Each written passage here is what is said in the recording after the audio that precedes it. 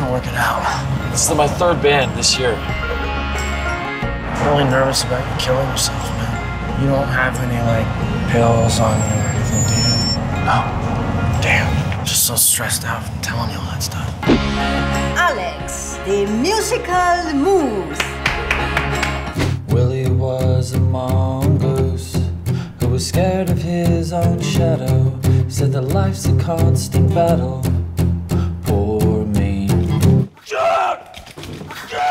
I had no idea it was a fake knife. You hit a handicapped kid repeatedly in the face! We should start a band together. Already planned out a whole tour. Booked all the dates already. All we gotta do is show up. All we have to do is show up, And then at the end, there's a big band battle. battle of the bands. Well put. Pretty cool, huh? Jesus. I feel like I just walked into a preschool version of the movie Hostel. This show would be an absolute shell of what it could be without the Brooklyn Brothers. Who are the Brooklyn Brothers? You're looking at them? Don't you think the Brooklyn Brothers sounds like a like black funk band from the 70s?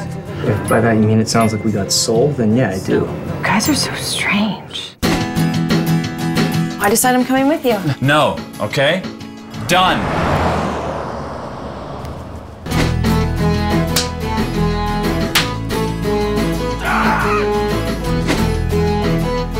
Where the hell did you guys come up with that sound?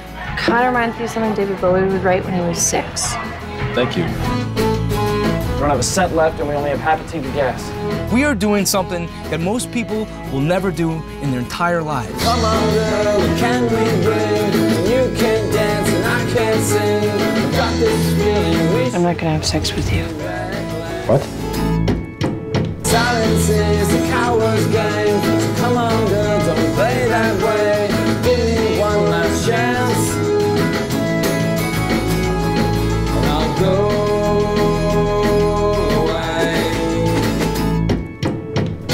does this flyer say the Brooklyn Brothers featuring Scott Weiland from the Stone Temple Pilots? I might have said that Scott Weiland was in our band. What? Don't worry about it. I'll tell the truth later. I don't want to fight with you. Could we just enjoy this?